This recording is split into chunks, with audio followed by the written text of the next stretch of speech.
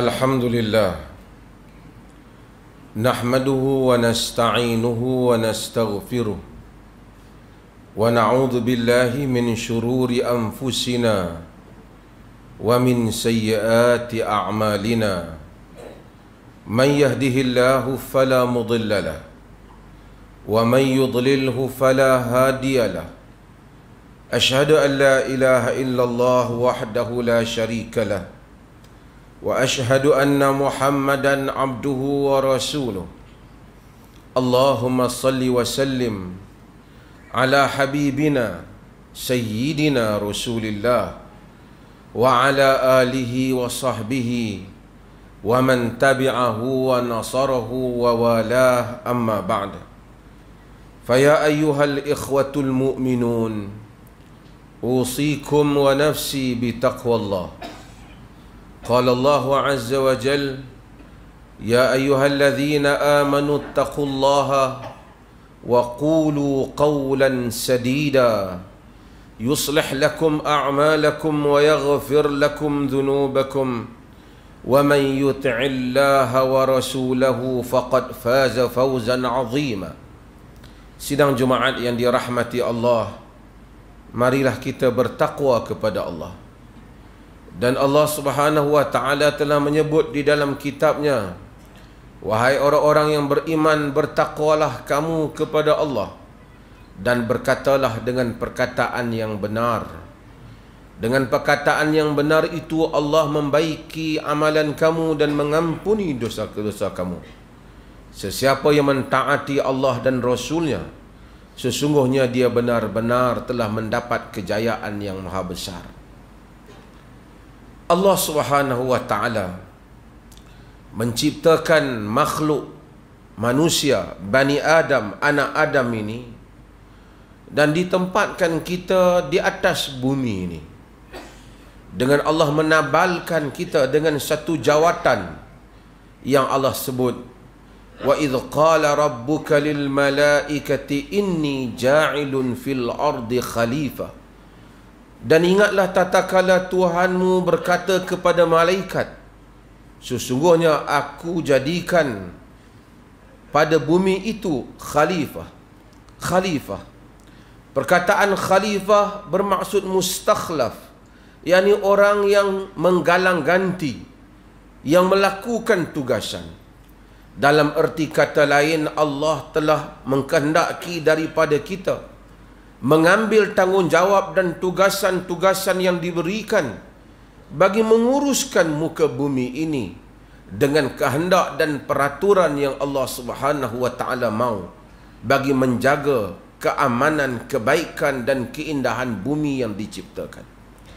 Nabi sallallahu alaihi wasallam di dalam hadis yang diriwayatkan oleh Imam Muslim baginda sallallahu alaihi wasallam menyebut inna dunya hulwatun khadra. Wallahu mustakhlifakum fiha falyanzur kaifa ta'malun. Sesungguhnya bumi ini indah menghijau.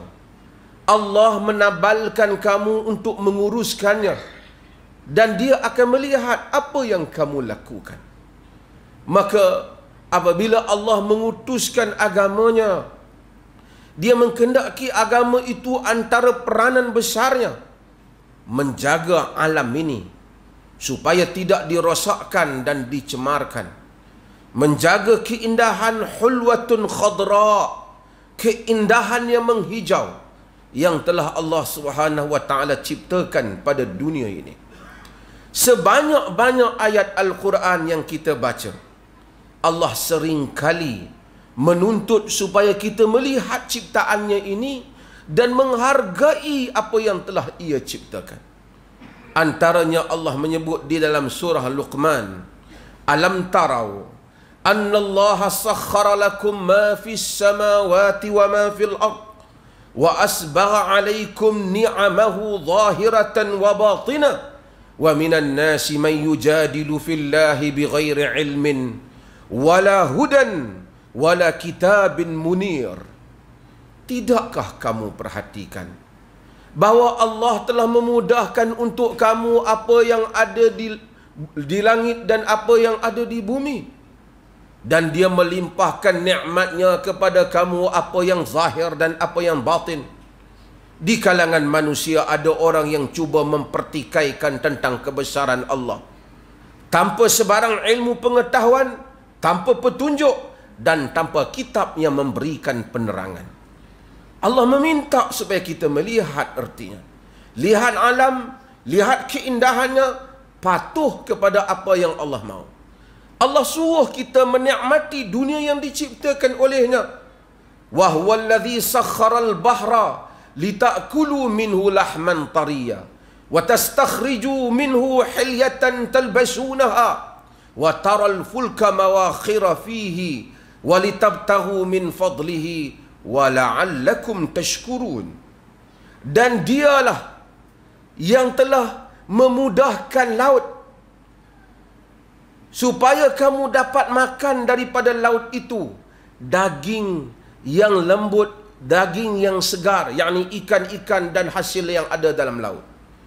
wa tastakhriju minhu hilyatan talbasunaha kamu keluarkan daripada laut perhiasan-perhiasan yang kamu pakai yakni ini peranan alam dan kamu melihat bagaimana kapal-kapal berjalan kapal-kapal berlayar padanya kamu mencari kurniaannya daripada laut itu, mudah-mudahan kamu bersyukur.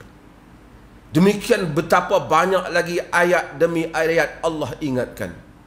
Betapa Allah menyuruh untuk kita menjaga alam ini. Namun dalam masa yang sama, dia telah menyatakan di dalam firman-Nya juga. Zahara al-fasadu fil barri wal bahri bima kasabat aydin nas liyudhiqahum ba'd alladhi amilu la'allahum yarji'un telah zahirlah kerosakan di daratan dan di lautan disebabkan apa yang telah dilakukan oleh tangan-tangan manusia supaya Tuhan merasakan kepada mereka sebahagian daripada apa yang telah mereka kerjakan mudah-mudahan mereka kembali kepada Allah. Ayat-ayat ini semua menjadikan muslim yang sebenar menghargai alam ini dan menghargai ciptaan Allah dan tidak merosakkannya.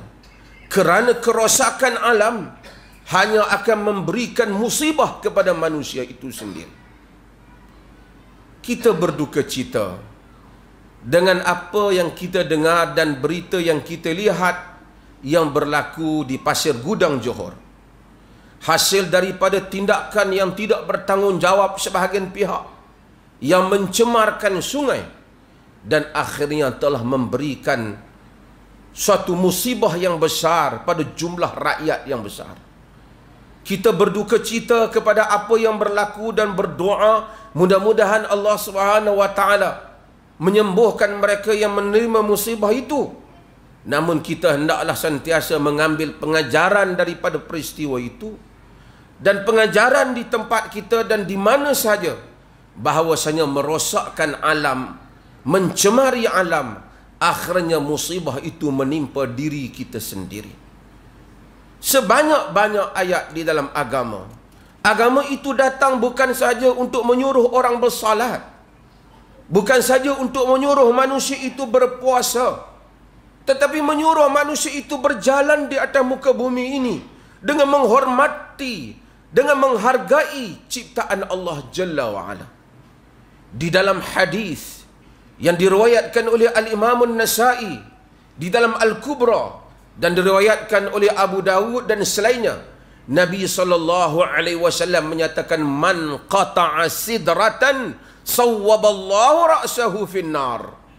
Sesiapa yang memotong pokok sidr, yakni pokok bidara, Tuhan celupkan kepalanya hentakkan kepalanya, tekan kepalanya di dalam neraka. Abu Dawud ketika meriwayatkan hadis ini memberi komentar. Katanya kenapa pokok potong pokok bidara itu salah? Katanya sebab kerana di negara Arab khususnya pokok bidara adalah pokok yang pokok yang rendang. Kerana disitulah manusia akan berteduh dan disitulah juga manusia, haiwan-haiwan akan dapat makanan. Maka sesiapa yang merosakkan alam sekitar dengan memotong pokok-pokok yang telah Allah Ta'ala ciptakan untuk kepentingan manusia, berlindung dan berteduh, dia akan dimasukkan ke dalam neraka. Maksudnya sekalipun dia menunaikan salat, sekalipun dia datang ke masjid, sekalipun dia mengucap dua kalimah syahadah, jika dia merosakkan alam sekitar, dia akan dihukum oleh Allah Subhanahu wa taala pada hari akhirat kelak. Sebab itu penting menjaga alam ini dan menjaga kebersihan.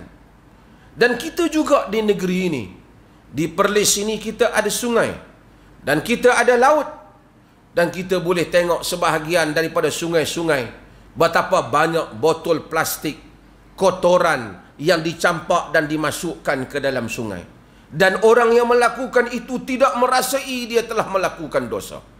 Laut yang cantik yang Allah berikan, rumah-rumah di tepinya, betapa banyak sampah sarap yang ada yang mencemarkan pandangan dan merosakkan haiwan-haiwan, ciptaan ikan-ikan dan berbagai-bagai yang Allah Subhanahu wa taala ciptakan.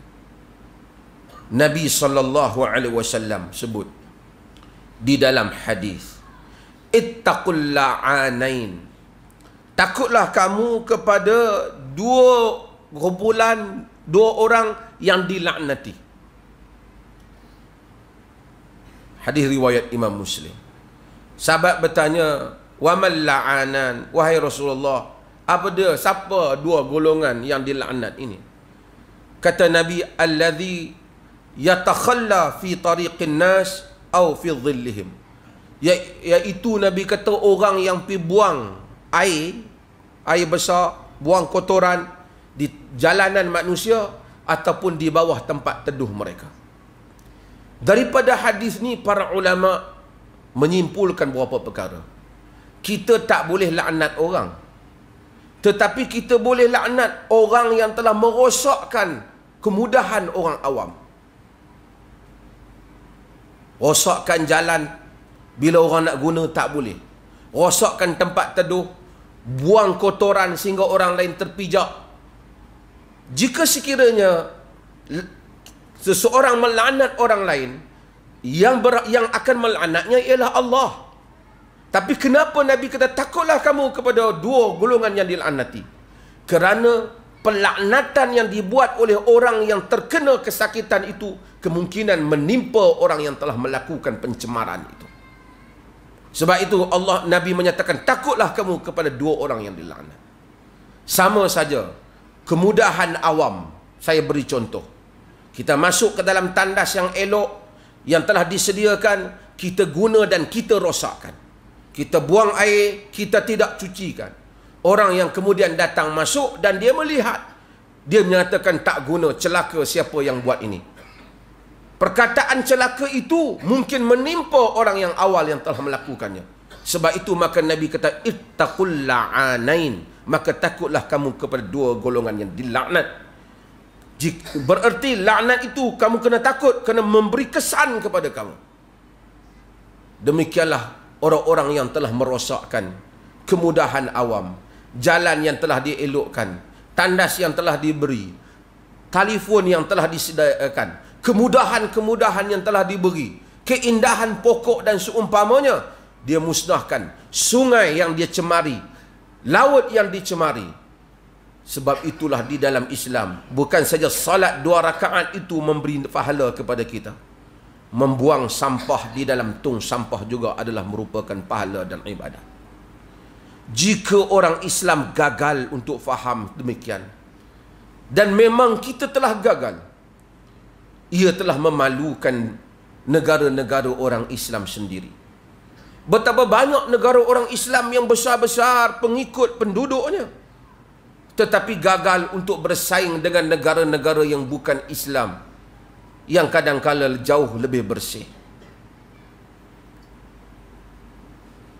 Di Mesir ada Universiti Al-Azhar. Tetapi sayang sekali gagal untuk mereka menjaga kebersihan sungai Nil seperti mana negara-negara bukan Islam yang maju yang menjaga kebersihan sungai mereka. Di negara kita, azan berkumandang.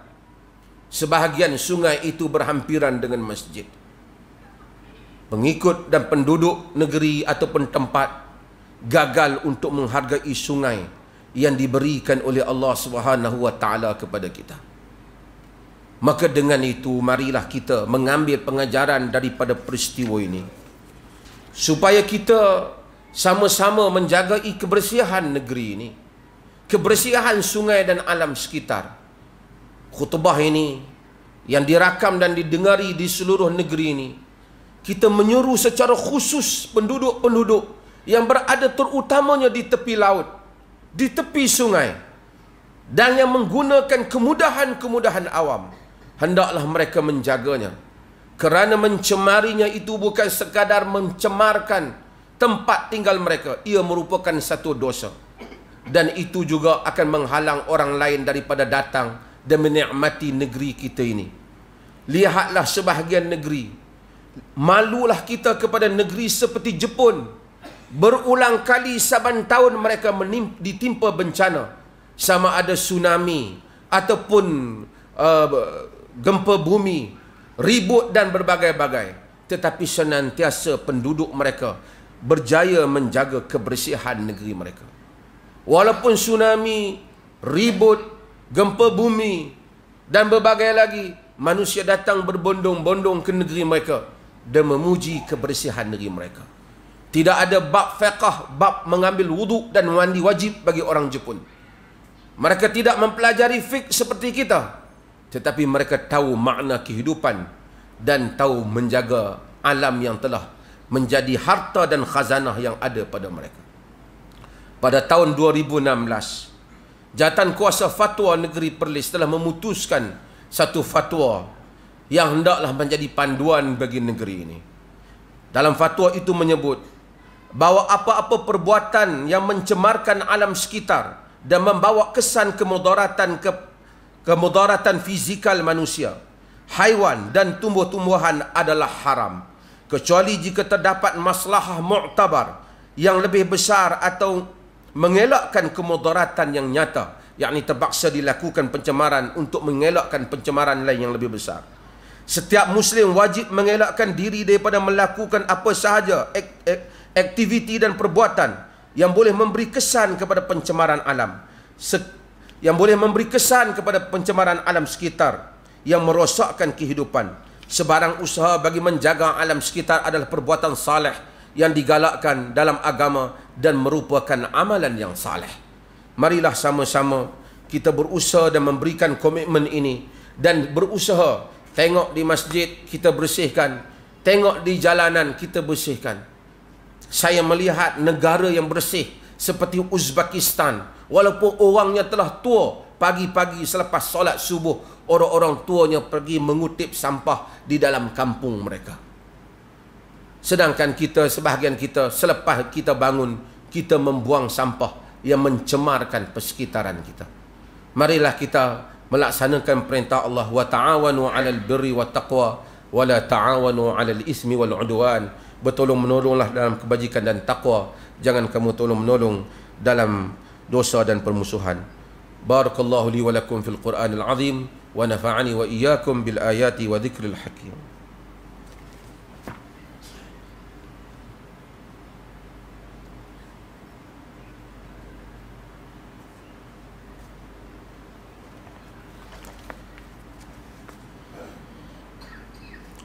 Alhamdulillah الحمد لله الذي ارسل رسوله بالهدى ودين الحق ليظهره على الدين كله ولو كره الكافرون اشهد ان لا اله الا الله وحده لا شريك له واشهد ان محمدا عبده ورسوله اللهم صل وسلم على هذا النبي الكريم وعلى اله وصحبه اجمعين اما بعد فيا ايها الاخوه المؤمنون اوصيكم ونفسي بتقوى الله وتزودوا فإن خير الزاد التقوى Sidang Jumaat yang dirahmati Allah Marilah kita bertakwa kepada Allah.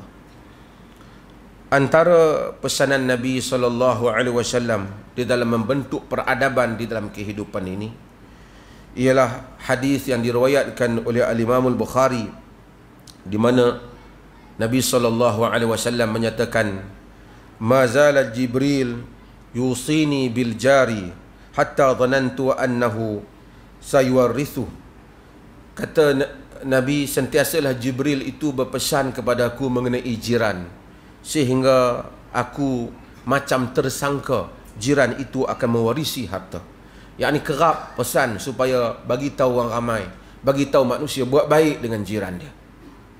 Kita hidup dalam kampung dan sebahagian masyarakat sudah tak pedulikan jirannya. Buat baik dengan jiran ni pertama mungkin maksudnya kita bertegur siapa, tolong menolong. Yang lain ialah kita tak melakukan perkara yang menyakitkan jiran. Sama ada penyakit menyakitkan secara langsung ataupun kita buat tindakan-tindakan yang mengganggu jiran kita. Antar jiran itu bukan sekadar orang yang sebelah rumah, tetapi orang yang sekeliling di dalam kampung kita ialah jiran kita. Kita buang sampah, kita bakar sampah, kita cemarkan air, kita rosakkan alam sekitar. Bukan saja jiran kita sakit, satu negeri akan menderita dengan apa yang berlaku. Contoh yang berlaku di Johor itu patutnya menjadi pengajaran kepada kita. Demikian juga sebahagian orang ada haiwan yang diperliharaannya. Dia bela haiwannya, dia biarkan mengganggu jirannya. Kadang-kala dia buang kotoran, dia biar busuk di tempat walaupun di tanahnya mengganggu jirannya. Semua ini menyanggahi adab yang telah ditunjukkan oleh Nabi sallallahu alaihi wasallam. Jibril, malaikat yang utama berpesan kepada Nabi bagi tahu orang supaya jangan sakiti jiran. Dan kita sering kali telah melanggar pesanan ini walaupun kita kadang-kala di sudut yang lain macam kita ingin menjunjung syariat tetapi banyak syariat yang asas yang telah dibebankan kepada kita kita gagal untuk melaksanakannya. Inna Allah wa malaikatahu yusalluna 'alan nabi ya ayyuhalladzina amanu sallu 'alaihi wa sallimu taslima.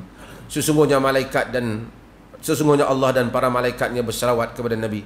Wahai orang-orang yang beriman, hendaklah kamu berselawat dan salam kepada Nabi. Allahumma salli ala Muhammad wa ala ali Muhammad.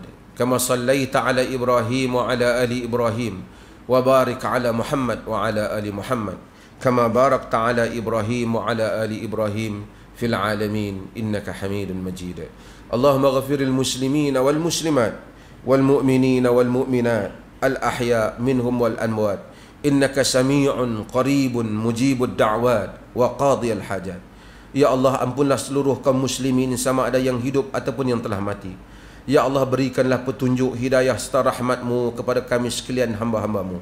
Dan kepada pemimpin kami itu utama Raja Pemerintah Negeri Perlis Tuanku Syed Sirajuddin Ibnu Almarhum Tuanku Syed Putra Jamalul Lail Dan Raja Muda Perlis Tuanku Syed Faizuddin Putra Ibnu Tuanku Syed Sirajuddin Jamalul Lail serta kaum kerabat baginda supaya sentiasa beramal dengan kitabmu dan sunnah Nabi Muhammad sallallahu alaihi wasallam dan engkau lanjutkanlah usia baginda berdua dalam keadaan selamat sihat sejahtera. Dan dengan semoga dengan kesihatan yang baik yang telah engkau kurniakan kepada baginda berdua terlaksananya pemerintahan yang adil lagi diredai olehmu. Ya rahman ya rahim kami memohon kepadamu dengan sekelahan kerendahan diri. Sebagai hamba-hambamu engkau indahkanlah akhlak kami. Engkau perbaikilah pergaulan antara kami Ya Rahman, Ya Wadud Engkau semarakkanlah dalam jiwa kami kasih sayang keranamu Sehingga tersebarnya cinta dan kasih yang engkau redai. Engkau bagilah ke kaum keluarga kami Anak istri kami dan saudara mara kami Dan jiran tetangga Dan seluruh mereka yang kami kasihi. Rabbana hablana min azwajina wa zuriyatina qurrata a'yun Waja'ana lil muttaqina imama.